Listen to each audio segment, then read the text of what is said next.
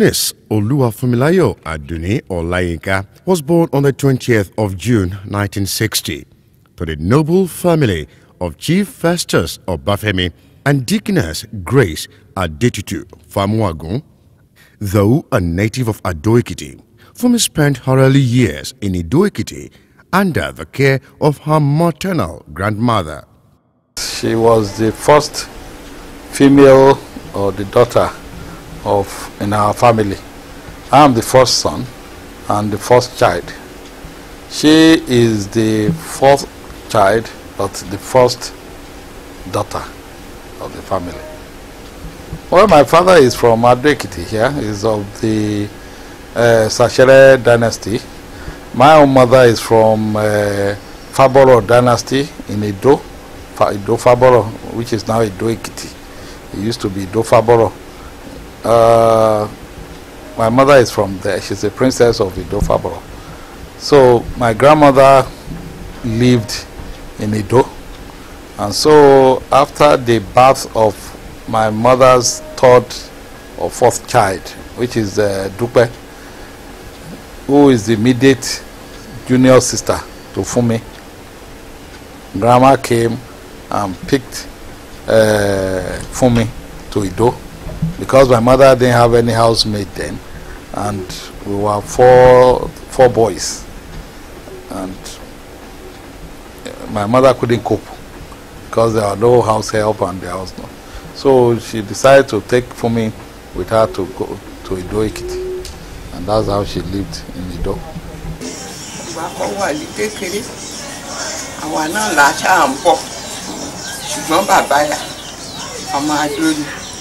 rẹ̀ adétutù bí ọmọ ìfábọ̀rọ̀ gbọgbọgbọ ni fábọ̀rọ̀ ló bí.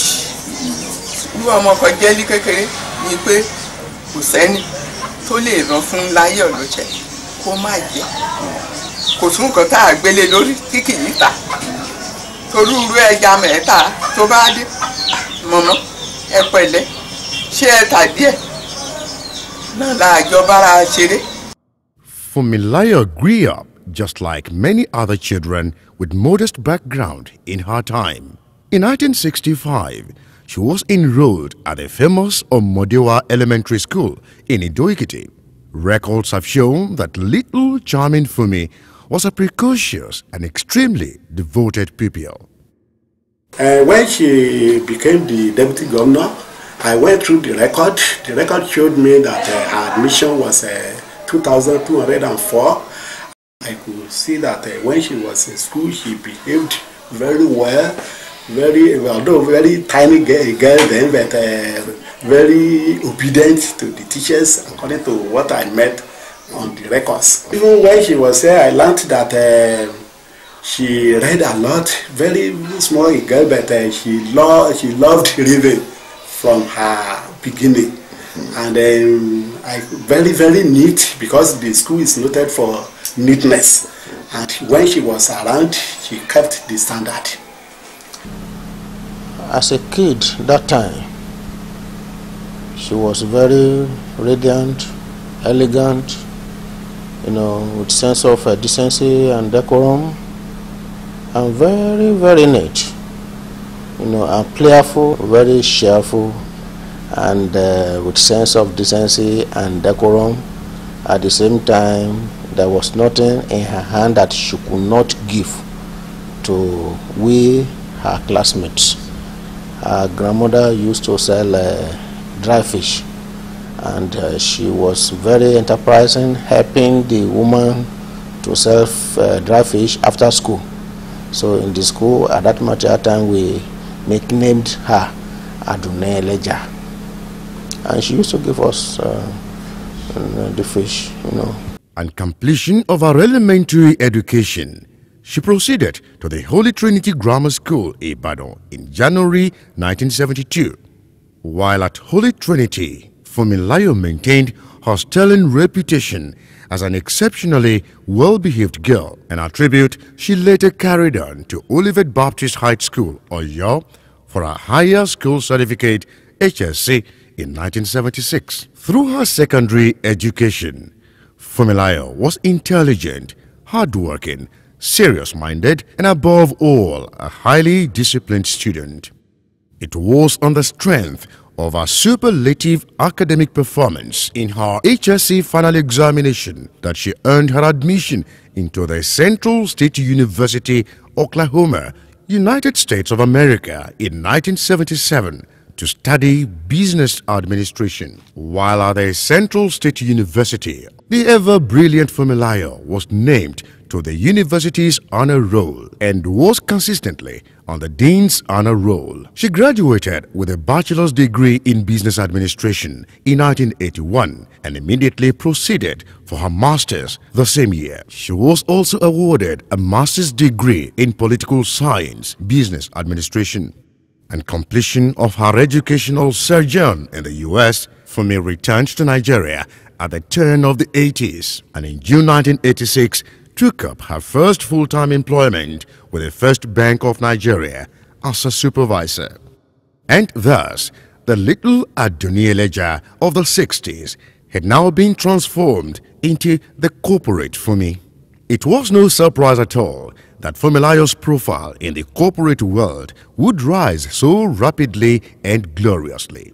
Her simple nature and excellence would see her through different positions as relationship manager for corporate accounts in Access Bank, the defunct Merchant Banking Corporation MBC, and the United Bank of Africa PLC, where she later became head Corporate Affairs Division in 2002. Afterwards, she rose to become head Brand Management and Corporate Affairs.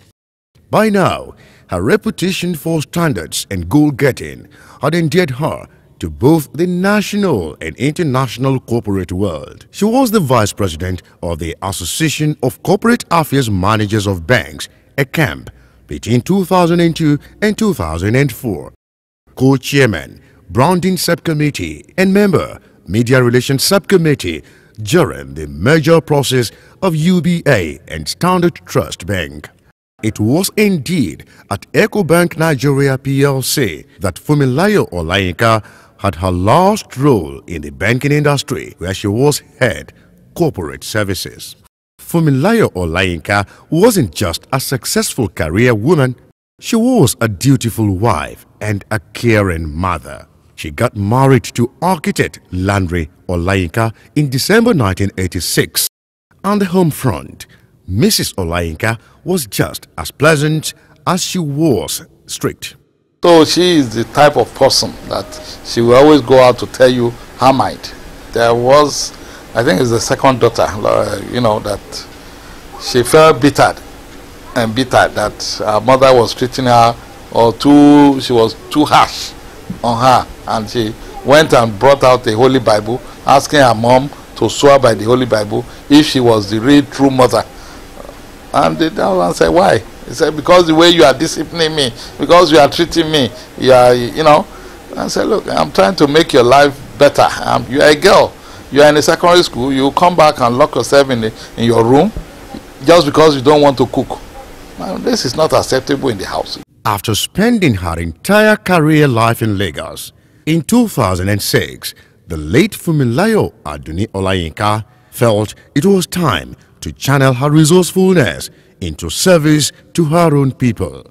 The great opportunity came knocking for her when she was nominated to run as deputy to Dr. John Kayode in the 2007 governorship election in Ekiti State on the platform of the Action Congress Party. When Mrs. Adunni Olayinka came uh, in 2006, when we were about choosing candidates to run, uh, first of all, her beauty and elegance, you know, appealed to us. And uh, we never had a divided mind about choosing her to be the running mate of our, of our governor, person of Dr. Kayode Fayemi. All the strata of the party, both old and young, accepted Mrs. Funmilayo Olayinka. When the, the late deputy governor came, Mrs. Adunni Olayinka, her people have been thinking that uh, they want a person that is real grassroots. And they said this man is elegant, uh, is, uh, you know, is one of these uh, Bintu and foreigner who will not be able to understand them. She was just smiling. When she spoke, we now realize that uh, she even grasped Ekiti and Nado dialect of Ekiti. That we were even surprised. It was later we were told that, or we made to know that this woman was brought up here in Ido Ekiti and Nado Ekiti. She's very, you know, comfortable with her people. When we got to the market, that was the time we went to the market. It was even then that some of us knew that the mother is a cloth seller in the market. And the way she was greeting them, some of them were saying, ah, Arowi Oyibo Lord Benin. And later they now discovered that just one of them. The efforts of the late deputy governor in the struggle to reclaim the party's mandate remain heroic. For almost three years, she fought doggedly with uncommon bravery, valor, and tenacity reminiscent of Princess Moremi of Ife and Queen Amina of Zaria. For three and a half years when we were in the struggle, this woman was beacon of hope, even to those of us who are leaders of the party.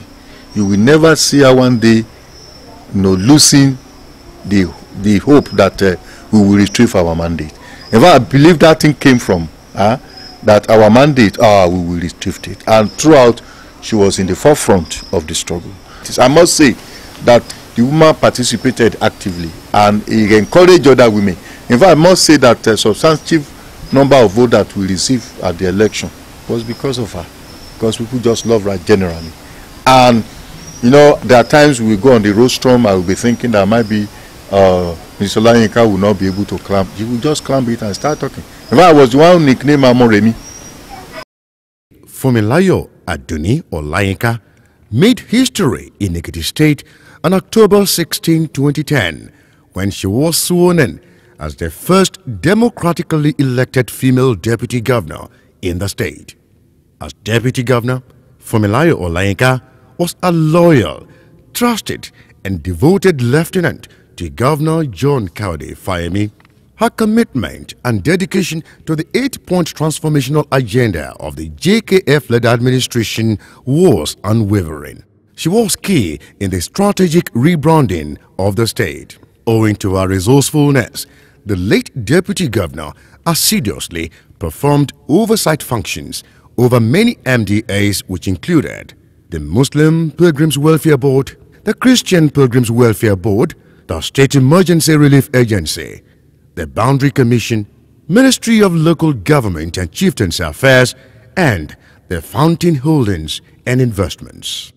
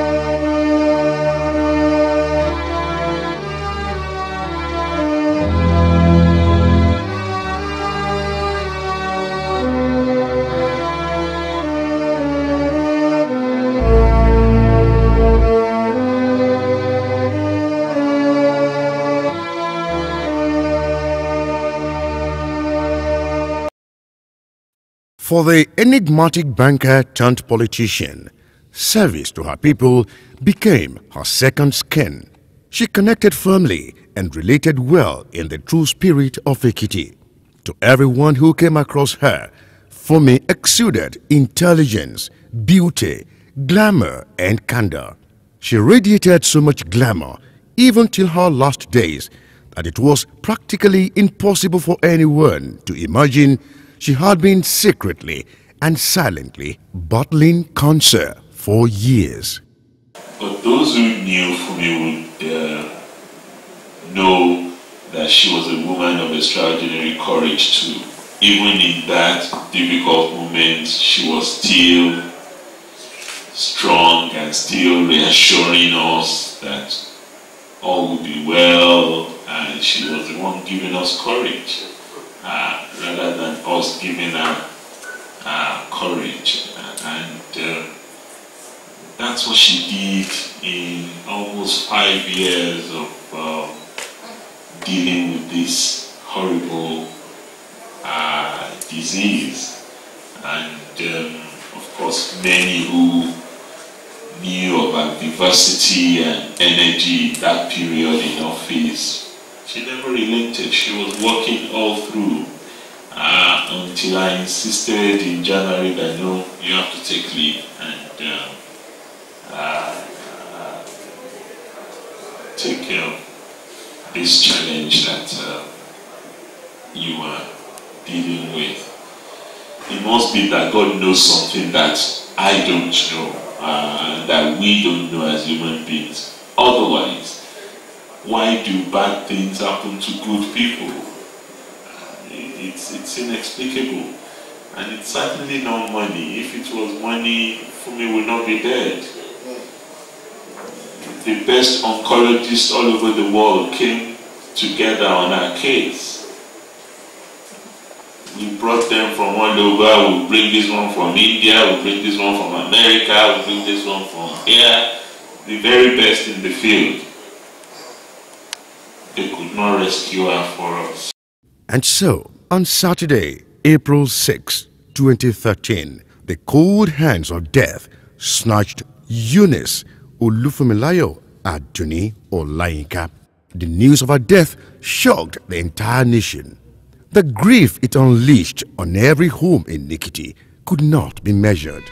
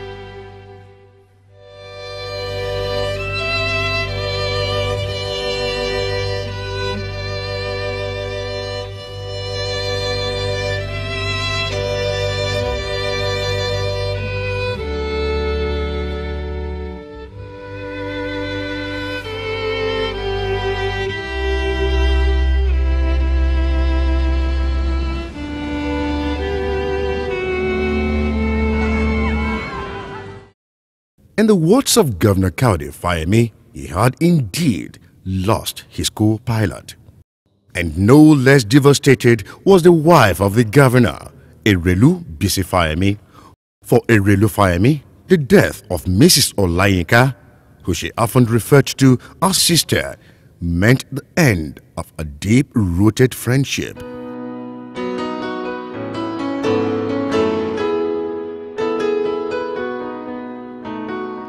Goodbye, England's rose. May you ever grow in our hearts. You were the grace that placed itself where lives were torn apart. You called out to our country and you whispered to those in pain. Now you belong to heaven and the stars spell out your name. Seems to me you lived your life like a candle in the wind, never fading with the sunset when the rain set in. And your footsteps will always fall here along England's greenest hills. Your candles burned out long before your legend ever will.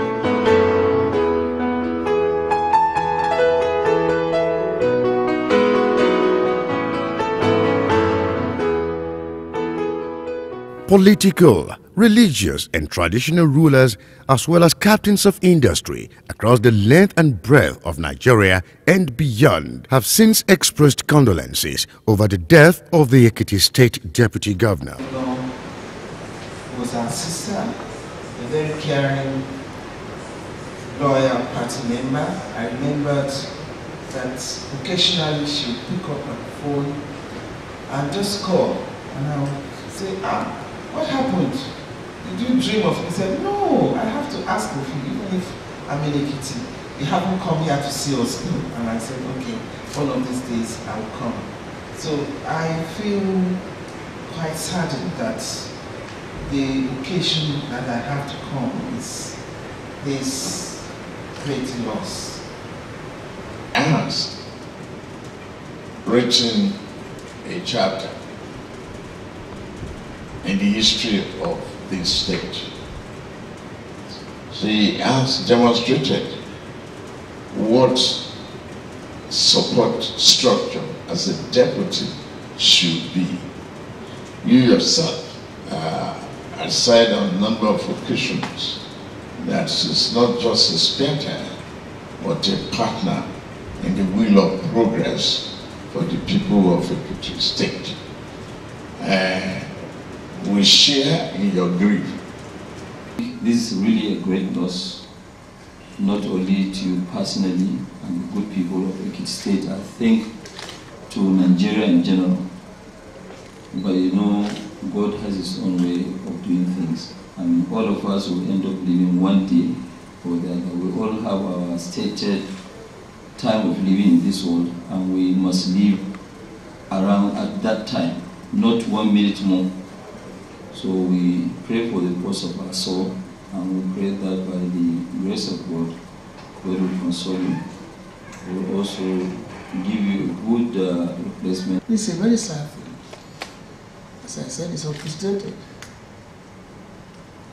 For a woman who was in her lifetime a brilliant person by any standard, a person who had shown a lot of hope for the women. Indeed, she was a beacon of hope for womanhood in this area. And we knew and believed that greater things can proceed her through her. To be snatched away at this time is something that gives us a lot of grief. But then there's something we can do. God knows best. For me, was somebody that I uh, knew uh, we worked together since the 1990s in UBA, along with Selma Barrow actually. Uh, she was in corporate banking. Uh, she was a dear friend, um, um, a beautiful person whose beauty was obvious or internal, not just the external. She was a wonderful person. And I know um, how close you were and how hard uh, you both worked from the time you were fighting for your mandate uh, to the time uh, you came into government. And I'm sure that you found her a very um, worthy um, right-hand person in the kind of work and the challenges that you faced. But can there ever be words sufficient enough to describe the Amazon that once dazzled the social political terrain of Ekiti, the land of honor? Maybe not. With aged parents, a loving husband, and three children left behind. But one thing is certain, Ekiti, the land of honor, will not forget this Moremi of our time for a very long time to come. And that long time may mean never. Olúfúnmiláyọ̀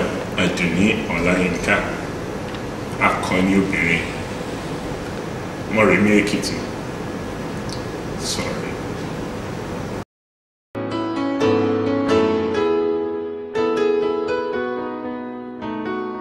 Goodbye, England's rose. May you ever grow in our hearts. You were the grace that placed itself where lives were torn apart. You called out to our country and you whispered to those in pain. Now you belong to heaven and the stars spell out your name.